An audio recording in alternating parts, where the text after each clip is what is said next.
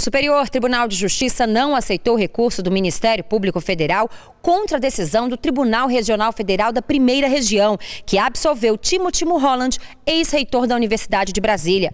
O MPF defendia a revalorização jurídica dos fatos descritos no acórdão e o reconhecimento pelo STJ da existência de elementos que comprovariam o ato de improbidade administrativa. A alegação é de que teriam sido utilizados indevidamente recursos do Fundo de Apoio Institucional ao UNB para aquisição de um carro para usufruto do ex-reitor e de móveis de luxo para seu apartamento funcional. O relator, ministro Og Fernandes, explicou que o STJ já tem entendimento consolidado de que para ser configurado ato de improbidade é necessária demonstração de dolo. Sem isso, de acordo com o ministro, não é possível apontar a existência da má-fé. Og Fernandes concluiu que o Tribunal Regional Federal da Primeira Região foi bem específico ao fundamentar a decisão. Por isso, rejeitou o recurso do Ministério Público.